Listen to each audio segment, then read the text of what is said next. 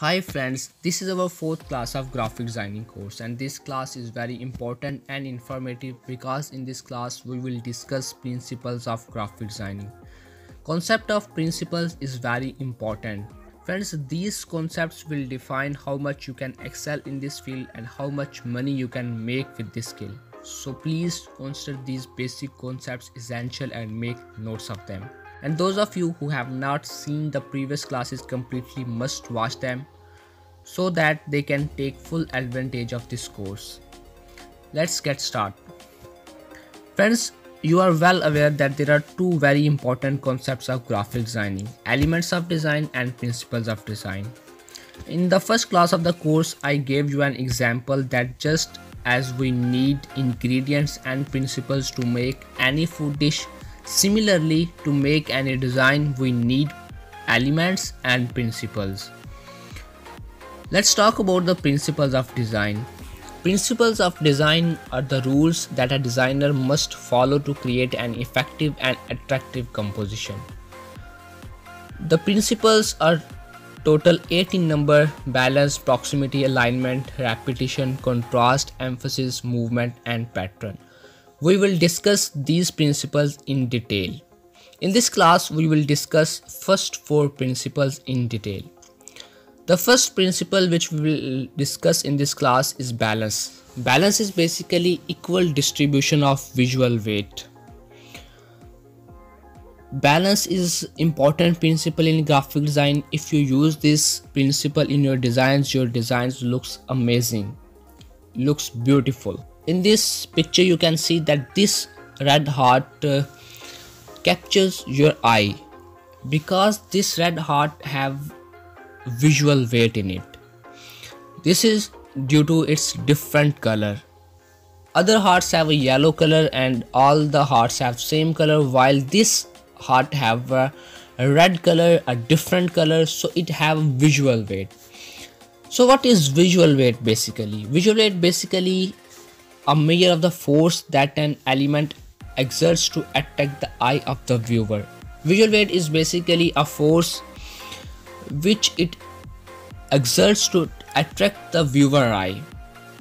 And uh, visual weight is uh, exerted by the any element. An element may be shape color size line etc you can use balance or you can create a visual weight by changing shape of the uh, element by changing color size line etc moreover balance have a very close relationship with the visual weight next one is balance types. We have three different balance types symmetrical balance asymmetrical balance and radial balance. First of all what is symmetrical balance? As the name suggests symmetrical balance symmetry Symmetrical balance basically refers to the balance that is achieved by arranging elements on either side of the center of the composition in an equally weighted manner. Symmetrical balance is basically that balance in which we arrange elements that have equal weight. For example, in this picture you can see that if we cut this picture from the central point, both right and left segment is mirror image of each other are equally have equal weight.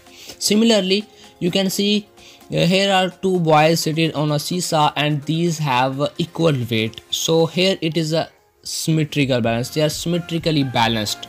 Similarly if we cut this image from the central point from the central point left and right segment are uh, equal to each other have uh, are mirror images to each other have equal weight. So we can say that in these pictures in these examples here it is a symmetrical balance. A symmetry is basically lies here. Similarly taj mahal one of the best example of symmetrical balance. Friends this taj mahal is constructed on the basis of symmetrical balance. If you cut this uh, taj mahal from the central point you can clearly see that the right and the left side both are mirror images of each other and both sides have uh, equal weight. Similarly, this building have a symmetrical balance in it if you cut this picture from the central point or if you dissect this uh, building from the central point the left and the right side both have the same weight. Next one is asymmetrical balance. After the symmetrical balance the next type of the balance is asymmetrical balance. As the name suggests asymmetrical which means that there is no balance. There is there are two dissimilar sides of a design and uh, have a visual weight that is unequal to each other for example this is an example of symmetry and this is an example of asymmetry. Here is the visual weight is more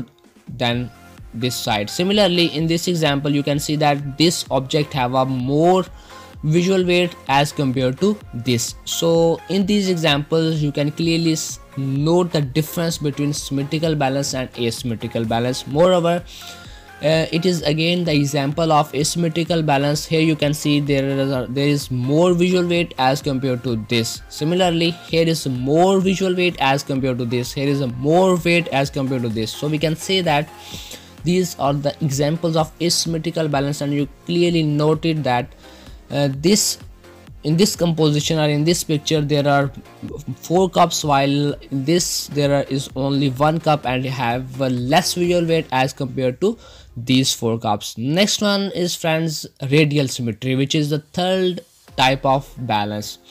Uh, radial as the name suggests radial which means circle. Uh, radial symmetry or balance is a type of balance in which the parts of an object or picture are regularly arranged or radiate from the central point. Um, moreover friends radial symmetry lies in both uh, natural and uh, human made objects. For example it is a starfish it is a natural and you can see that uh, that uh, lines are radiate from the central point. Similarly in this wheel, wheel which is a human made object you can clearly see they see that there is a radial symmetry uh, so this is uh, all about the first principle of uh, design that is balance. Next uh, principle of design is proximity. Proximity. Proximity basically means nearness. And proximity may be in space time or design. Here you can see the logo of IBM a very famous company logo and this logo is designed on the basis of two principles and uh, that principles are proximity and uh, repetition. And the elements here used is line. Uh, proximity is basically a technique through which we organize our elements same elements are placed together with, with each other same elements are closely packed to each other are repeated again and again so that we can obtain this principle which means nearness. Moreover unity is obtained by proximity principle. If you use this principle in your designs your designs looks amazing organized. For example if you see this example here is no unity here is no organization for example uh, and in this example you can see there is a clear organization a unity which makes it amazing and beautiful. Similarly in this example here are the circles dispersed while the in this uh, there are these circles are united.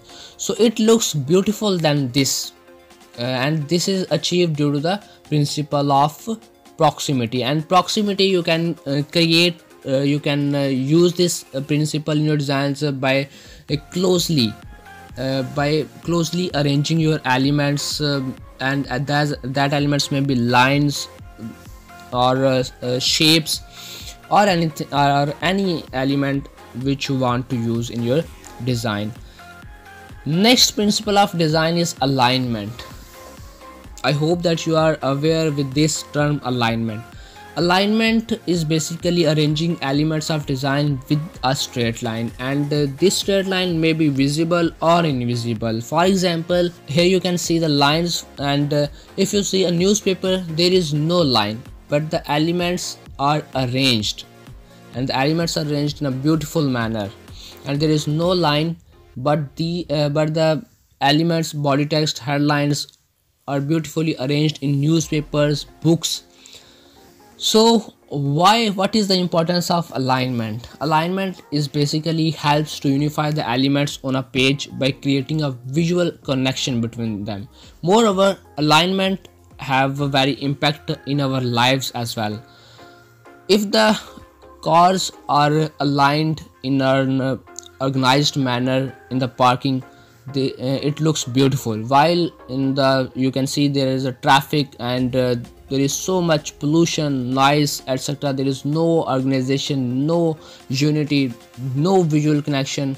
While in this you can see there, these cars are beautifully arranged with the help of alignment. While there is no alignment more pollution more negative effects on society so this is the importance of uh, alignment principle. Moreover alignment uh, there are four types of alignments edge center horizontal vertical. I hope you are well aware with these types if you use microsoft word in your life ever.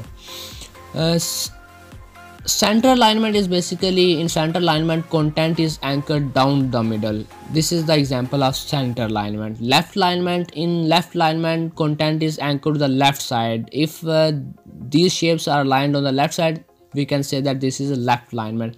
In right alignment here here is an example of the right alignment. In this uh, the elements or objects or content is anchored to the right side.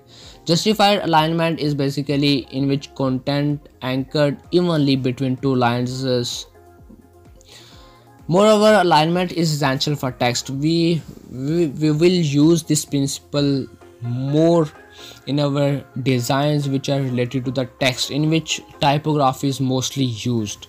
So this is about this is all about the principle of design alignment. Next principle of design is repetition which is closely related to proximity. Repetition is basically using same element in design again and again. And the repetition is uh, helps to create a consistency and association. As uh, i have i have told you in the principle of design proximity. I have said that uh, repetition and proximity are closely related to each other but they uh, both are different things. Repetition create balance in our designs. Moreover repetition principle is useful in creating textures and backgrounds for posters brochures and logos. And we will create in the practice uh, session inshallah. Elements uh, uh, which are used uh, for the repetition principle may be lines shapes or colors same as proximity principle here you can see examples of repetition principle. In this example the line element is repeated again and again. And uh, more uh, this is the same example which i have told you in proximity principle. Similarly in this shape circles are repeated again and again and it uh, this uh, design is you can see basically on uh, backgrounds of posters or websites etc similarly here you can see this image is static but it looks like that it is moving. Why? Because the the elements are uh, repeated again and again in such a way in such an organized way that it looks like that this image is moving. So friends this is all about uh, repetition principle